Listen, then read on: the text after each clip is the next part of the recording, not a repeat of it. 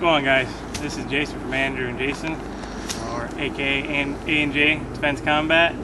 Um, today we're out in the woods right now. We're going to show you just a quick simple idea for like an overnight shelter. I mean if you want to really get detailed you can.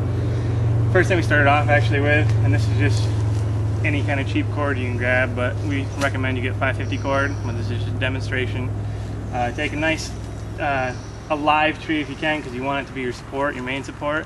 You can tie it to the tree here and you actually run your main beams on the side here that goes for more support. I usually do about three of these, maybe even four, but on the ends and one in the middle or two in the middle.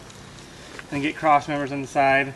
And then you can get these uh, walls too. You get sticks on the side and after a while you can actually take um, you know, either pine branches. Pine branches I recommend because they're a lot better at filling in stuff. I mean, regular trees with leaves, it'll take a lot more than pine branches. But uh, uh, if you come around the back here,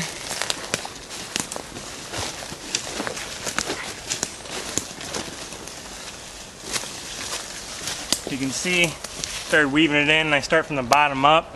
Um, this is just an example because I normally start from the bottom with this too.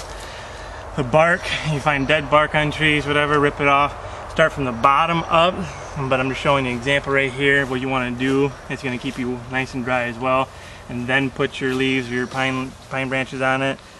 Um, like I said if you take this I've already got some down the bottom here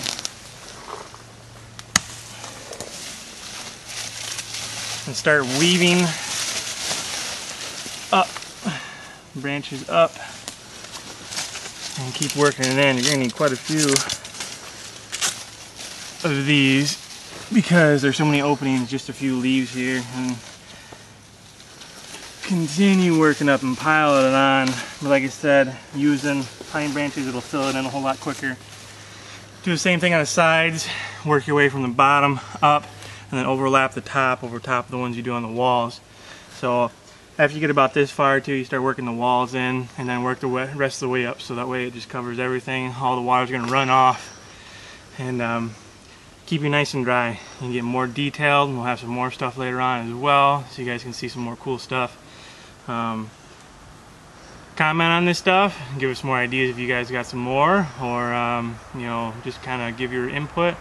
Uh, like it, subscribe, and uh, we appreciate you guys just watching. You guys have a good one. Take her easy.